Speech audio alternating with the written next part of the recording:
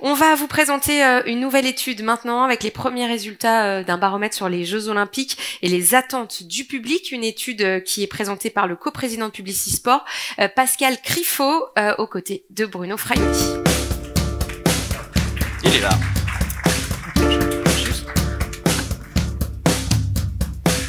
Bonjour Pascal. Alors, tu m'entends? Pascal, vous avez le, petit bip, ouais, c'est bon. Euh, vous êtes partenaire hein, de, cette matinée avec euh, Publicisport. D'abord, quel est l'objectif de cette étude?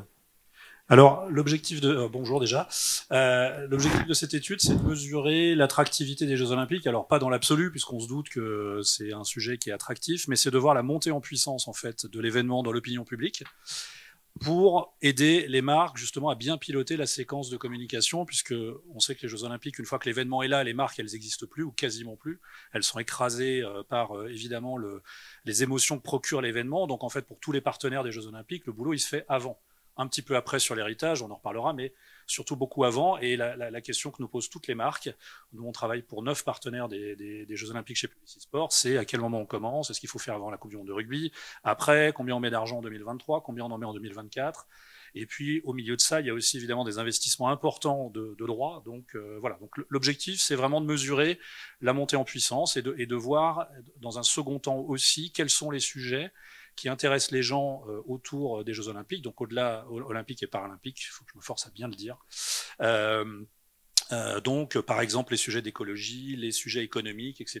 Parce que les, bah, les, marques, elles doivent aussi calibrer leur discours, puisque si les marques s'associent à l'événement en parlant d'elles et de leurs produits, ça suffit pas. Il faut évidemment trouver des liens et des valeurs communes avec euh, avec l'olympisme. Voilà. Donc l'objectif c'est d'avoir un petit élément de pilotage et on n'a pas d'exemple. En fait, on n'a pas d'historique en France puisque euh, voilà, c'était il y a un siècle. Les prochains ils seront dans un siècle. Donc on n'était pas là hein, il y a un siècle. On a des références dans le sport, mais pas sur les Jeux olympiques et paralympiques. Alors nous sommes à pratiquement un an hein, de l'ouverture de ces Jeux olympiques. Je vous rappelle la date quand même. Vendredi 26 juillet 2024, cérémonie d'ouverture des, des Jeux olympiques. D'ailleurs, je fais une parenthèse. Si vous levez à 4 heures du matin le 17 juillet prochain, bah, allez voir du côté de la scène, il y a une répétition. Euh, justement, à un, an de la cérémonie, combien, enfin comment les Français attendent cet événement? Est-ce qu'il y a un niveau d'intérêt important auprès de la population? Alors oui, c'est le, premier chiffre de l'étude. 54% euh, des gens qu'on a interrogés. Euh, donc on va faire six étapes du baromètre. J'ai oublié de le dire. Donc là c'est la première. On hâte que les jeux commencent. Alors peut-être parce que l'ambiance n'est pas géniale et qu'il y a plein de plein de sujets euh, contrariants dans la société, mais c'est vrai qu'il y a évidemment un effet d'attente. Là, il y a 100% dans la salle. Voilà. Alors oui, euh, il faut le souhaiter évidemment. Euh, donc on est plutôt sur un sur un taux d'attractivité qui est, qui est, qui est plutôt assez élevé, qui me semble pas moi supérieur à ce qu'on peut attendre d'une d'une Coupe du Monde de foot par exemple, puisque évidemment ça là aussi il y a un niveau d'attractivité qui est fort, mais la supériorité des Jeux Olympiques là-dessus, c'est que ça embrasse évidemment tous les sports et c'est pas forcément lié aux résultats. On n'attend pas euh, les Jeux Olympiques en France parce qu'on veut voir les Français gagner des médailles d'or. On aimerait bien un peu, un petit peu, mais on, on attend aussi l'Olympisme. Il y a beaucoup de gens qui vont dans les stages olympiques pour voir les autres champions. Là où, par exemple, sur une la Coupe du Monde de rugby, euh, si vous faites un sondage, les gens ont envie que la France la gagne. S'ils sont éliminés en quart de finale, l'ambiance va être pourrie. Hein. Donc euh, voilà, les Jeux Olympiques c'est un petit peu différent. Évidemment, on veut que Teddy Riner prenne une médaille d'or, mais au-delà de ça, c'est surtout un, intérêt fort. Et, euh, et, globalement, alors je passe les chiffres en même temps. Euh, L'opinion, elle est évidemment assez positive. On est de l'ordre de, de, 57% et il y a assez peu de rejets finalement, euh, puisqu'on a nous dans les dans les chiffres qu'on a vus à peu près une quinzaine de pourcents de gens qui ont une opinion négative. C'est ceux qui ont globalement une opinion négative, un peu surtout. Euh, voilà, on voit ça toujours dans les enquêtes. On a toujours entre 10 et 15%. Donc euh, donc voilà. Mais c'est intéressant de voir pourquoi ils ont une opinion négative. Alors, euh, vous avez parlé justement de, de ces mécontents, Pascal. Euh, ces, ces 15%, pourquoi ils sont mécontents? Alors, euh, ah bon, on n'avait pas mis dans le bon ordre les slides. Mais oui, c'est pour ça. Hein, mais enfin, bon, moi, je. Bon, alors, je vais. Euh, voilà, on arrivait là. Voilà. Alors, les mécontents, c'est voilà. En fait. Non, mais on peut revenir quand même juste sur la la note. Voilà, 6,51.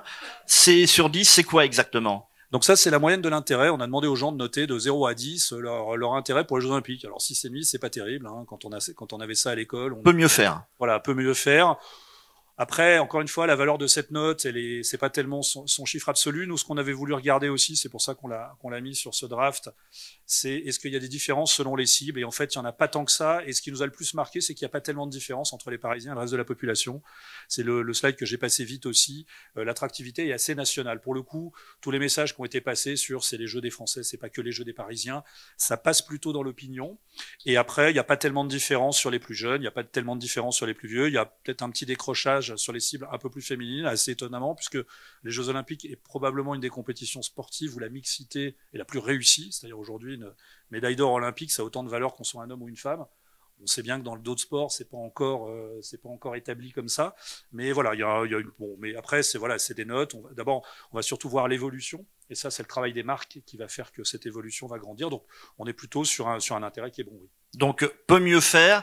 Et euh, je vous repose la question. Alors, c'est mécontents là. Ils sont mécontents de quoi?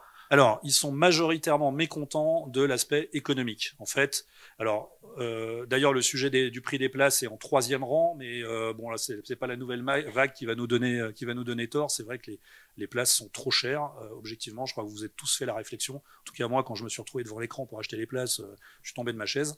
Euh, voilà. donc les places sont trop chères. Donc ça, ça a suscité un rejet. Et puis il y a évidemment. Il y a une nouvelle phase de vente là. Hein, voilà. Donc, ça que je dire, on va voir. Est-ce qu'on va enfin avoir les places à 25 euros? Et surtout, le, truc, il est beaucoup plus sociétal. C'est-à-dire qu'effectivement, bah, on sort de crise à répétition. On est dans une période évidemment qui est extrêmement tendue pour les foyers français avec l'inflation qui ne cesse d'augmenter. Alors même si on dit que ça s'est un peu ralenti. Donc effectivement, ils se disent tous que bah voilà, c'est l'imposition derrière qui va être chargée de compenser. Et ça ressemble en, ça à ce qu'on pouvait lire au moment des JO de Rio, euh, où là, pareil, la population brésilienne, alors qu'elle était peut-être dans une situation économique plus difficile que la nôtre, euh, le, ressentait comme ça. La défiance, elle est majoritairement économique. Les sujets de sécurité remontent peu. Alors le terrain, on l'a fait en mai, on l'a pas fait la semaine dernière. Euh, nul doute que ces sujets-là vont probablement remonter un peu, puisqu'il y a quand même un impact émotionnel très fort de ce qu'on a vécu, euh, ce qu'on a vécu en France ces jours derniers. Mais c'est essentiellement une défiance économique en se disant euh, tout ça pour ça, ça coûte quand même très cher. Mais on ne parle que de 15%. Donc encore une fois, c'est pas pas l'ensemble de la population qui pense ça. Il y a une il y a une suite, absolument. Donc, est-ce que ce sont des jeux pour les riches? Et du coup, on a fait exprès de poser la question comme ça. Quand même, plus de 56% des gens, donc y compris des gens qui, ont déclaré de leur intérêt pour, pour les Jeux Olympiques et qui ont hâte que ça commence, pensent que oui, ce sont des jeux pour les riches. Et ils n'ont pas complètement tort. Euh, enfin, faut être objectif. Quand on voit le prix des places, le prix du logement à Paris, bah, suivre les jeux, ça va, voilà, ça va coûter un peu cher. Et, et, ils en ont cette perception-là. Donc, c'est probablement un des travaux que, à la fois le, COJO, mais aussi certainement le gouvernement, parce que le gouvernement est intimement lié au COJO là-dessus, va devoir, euh, va devoir faire, parce que, bah, effectivement, il y a ce ressenti dans la population et pour vous donner mon sentiment personnel, ils n'ont pas tort. En tout cas, moi, c'est aussi comme ça que je le ressens. Je ne dois pas être le seul. Donc euh, voilà. Donc ça, c'est un point, à mon avis, très important d'évolution à, suivre parce que voilà, parce que si on est à 56 aujourd'hui, après les jeux, quand on fera la, quand on fera l'addition, il y aura forcément des, des, des coûts supplémentaires. On sera peut-être à un peu plus. Alors, on, va parler également euh, de, du taux euh, de déclaration hein, pour suivre les, ces Jeux olympiques et paralympiques. Oui, alors on est. Euh, il y a quand même une intention. Voilà, on a demandé donc l'intention de suivre, et c'est vrai qu'il y a un écart entre les Jeux Olympiques et les Jeux Paralympiques. C'est malheureusement pas étonnant puisque les Jeux Paralympiques, depuis les JO de Londres, sont en forte croissance d'intérêt et d'attractivité, mais on n'est pas encore au même niveau. Néanmoins, il faut relativiser ce chiffre puisque si on interroge les gens sur euh, la volonté de suivre la Coupe du Monde de rugby, vous allez à peu près avoir les mêmes chiffres que pour les Jeux Paralympiques. Donc, ça ne veut pas dire que euh, c'est, ça intéresse pas les gens. Il faut, voilà, la question, c'est le, le c'est le décalage entre les, les deux types de jeux, d'autant que les Jeux paralympiques vont être dans une période extrêmement stratégique et extrêmement intéressante puisque ce sera tout début septembre là où les Jeux Olympiques seront quand même au creux du mois d'août. Donc il y aura aussi beaucoup de gens qui suivront ça euh, à distance pendant leurs vacances. Donc il y a beaucoup de travail à faire là-dessus aussi. Et je pense que les marques ont un rôle à jouer pour valoriser le paralympisme, notamment toutes les marques ont des teams d'athlètes, bah, prennent aussi des athlètes évidemment, heureusement, olympiques et paralympiques. Et je pense que c'est l'occasion aussi de, voilà, de, de, de, de faire monter l'intérêt sur ces jeux-là. Alors deux tiers, euh, les deux tiers des Français qui déclarent regarder qu'ils vont regarder les, Jeux euh, les Jeux Olympiques, c'est quand même pas mal déjà à un an. En revanche, hein, pour donc les Jeux Paralympiques, on, est en dessous de la moitié. Comment vous expliquez ça, Pascal? Bah, probablement une, un effet de méconnaissance. On avait vu ça euh, pour le football féminin, c'est-à-dire qu'une fois que les gens regardaient les matchs et voyaient que globalement le spectacle était aussi bien que pour les masculins, que souvent les équipes tactiquement étaient plus en place que la moitié des équipes de Ligue 1. Enfin, ça, c'est un avis de quelqu'un qui suit le foot. On se disait, bah voilà, on pouvait prendre du plaisir à regarder du foot féminin. Et je pense que le paralympisme, c'est pareil. Il y a une méconnaissance. Et quand on regarde une compétition euh, paralympique, bah, on a des émotions, on a des histoires personnelles, on a des, on a des, des records, on a du dépassement. Donc, Là, c'est pas les audiences télé qui vont faire ni les JO, ni les Olympiques, ni les Paralympiques. Les Paralympiques feront bien plus que que, que ça va sur monter. deux, parce que voilà, il va y avoir. Et puis il faut que les médias jouent le jeu aussi. Moi, je vois pas beaucoup dans la presse spécialisée sportive de sujets sur les Jeux paralympiques. On voit beaucoup sur les transferts du PSG, mais pas beaucoup là-dessus. Donc, ça serait pas mal que voilà, il, il jouent aussi, ils jouent aussi le jeu de défendre euh, bah, ces jeux-là. Et voilà. Alors, on est à un an. Hein, on leur fera le procès dans six mois. Mais, euh, mais c'est important de. Voilà, il y a, y, a, y a, un boulot général à faire, des marques jusqu'aux médias pour que bah, euh, on, on, on, connaisse un petit peu plus les athlètes paralympiques avant les épreuves. Du coup, on va s'attacher et puis on vivra les émotions avec eux. Bon, je pense qu'il y a des médias ici euh, qui vont relayer tout ça entre Le Parisien, CB News et sportbusiness.club. Hein. C'est pour ça que je dis ça. on va poursuivre, Pascal. Et France, et France Télé. Télé, évidemment, et France Télévisions. On les retransmet en intégralité. Quand on voit ce que Channel 4 a fait en Angleterre sur les Paralympiques de Londres, euh, je pense que ça peut faire aussi de belles audiences pour France Télé. Alors le troisième point qu'on a regardé, c'est l'écologie et l'héritage, puisque le, le, le, en a, beaucoup parlé.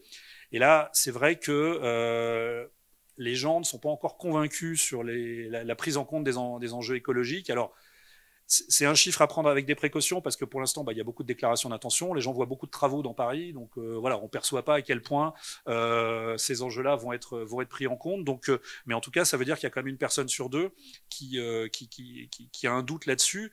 Et ça rejoint même le, probablement le nécessaire travail que doit faire le sport sur l'écologie, puisque on sait bien qu'entre les déplacements de supporters et l'empreinte carbone de certains sports, il y a quand même des sujets euh, à adresser dans les prochaines années. Donc les gens sont assez conscients de ça et se disent que bah, voilà, des 15 millions de gens qui viennent à Paris, euh, forcément, ça a un impact. Et puis évidemment la construction des stades, etc. Donc là, pour l'instant, il n'y a pas beaucoup de, preuves et, il n'y a pas beaucoup non plus de marques qui ont commencé à communiquer euh, sur les jeux et qui pourraient, par exemple, utiliser ce, ces messages-là. Donc pour l'instant on n'y est pas encore dans la, dans la perception. Euh, rapidement, Pascal, euh, à un an des Jeux Olympiques, quels seraient selon vous les territoires sur lesquels les marques devraient dès aujourd'hui s'engager autour des Jeux Olympiques et Paralympiques? Alors, bah, chaque marque doit trouver un, un, un, territoire et des valeurs qui sont en lien évidemment avec ce que la marque a, a proposé, mais globalement, en, entre le paralympisme, l'écologie, certainement pour, beaucoup d'entre elles la performance, puisque les Jeux Olympiques c'est aussi un lieu de performance et une marque aime bien raconter sa performance. Il y a beaucoup de il y a beaucoup de terrains de jeu. Moi, je trouve que vraiment sur le, sujet notamment du paralympisme, il y a énormément d'opportunités parce que ça porte toutes les valeurs RSE qu'on retrouve dans tous les briefs de marque. Nous, on reçoit pas un brief de marque où il n'y a pas euh, exprimer nos effets utiles, montrer à quel point on est utile au monde. Et le paralympisme, par exemple, c'est une belle synthèse de tout ça à travers la résilience, à travers l'inclusion. Donc ça, c'est un vrai sujet. L'écologie, pour peu qu'on fasse pas du greenwashing, c'est aussi un, un sujet, euh, c'est aussi un sujet intéressant. Et puis probablement cette notion d'universalité, puisqu'en revenant sur les chiffres du début, quand même beaucoup de Français pensent que les jeux sont pas complètement pour eux. Donc ça serait bien qu'on le dise un peu plus. Nous, on l'a fait pour la marque Visa, où on a lancé une plateforme qui s'appelle Passe en vous, à destination des jeunes de Seine-Saint-Denis, pour qu'eux bah, voient pas les jeux à un kilomètre de chez eux en se disant je pourrais jamais rentrer dans un stade.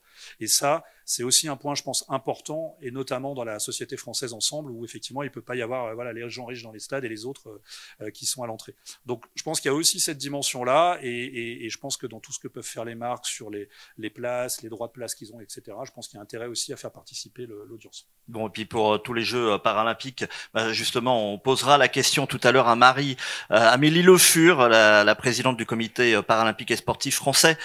Merci Pascal Criffaut, donc euh, coprésident de Publicisport. On suivra donc l'évolution hein, de, de ce baromètre. Merci. Gaël.